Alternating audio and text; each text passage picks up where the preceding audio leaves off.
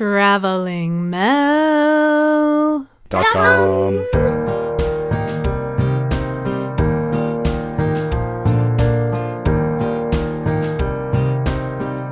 While our time in town was great, I was really looking forward to seeing the bighorn sheep in rut.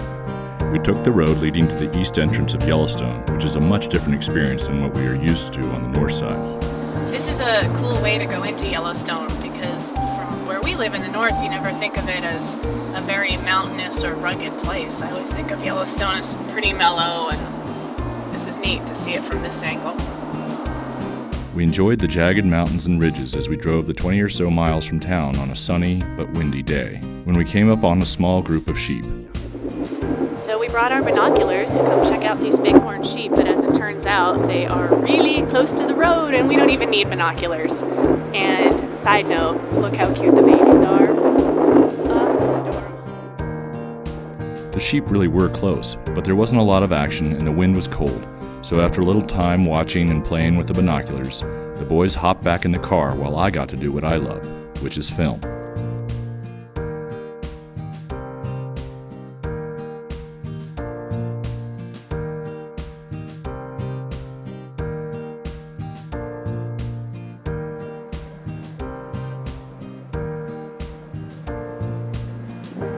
So, as you can see, if you can hear over the wind, they're actually pretty close and not too worried about humans.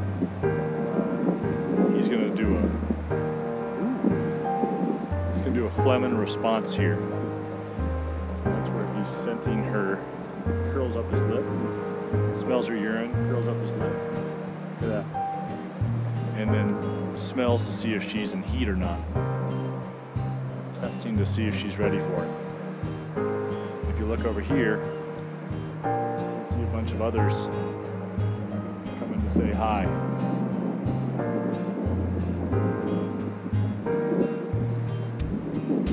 That's just how close you can get here. While the wind played havoc with the microphone, brought tears to my eyes, and a little snot to the end of my nose, the sun eventually made it over the mountains and shone on another group of sheep further up the canyon.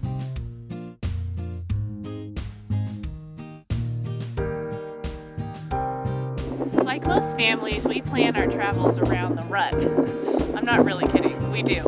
We're checking out the bighorn sheep, who right now they're just laying down, but so far we've seen them doing something called a flehmen response, where they're sniffing at each other's uh, privates to see if they're ready to go for it. And we're hoping soon to see some headbutting as well. Dare to dream. It takes time and patience to see great wildlife behavior. We didn't get to see anything more than some good old fashioned nut kicking, but we decided that in fairness to the boys' attention spans, we'd head back home. Maybe next year we'll come back and get to spend more time, but it was a great experience regardless. Check out the travelingmel.com blog for more info on Cody and our other family adventures.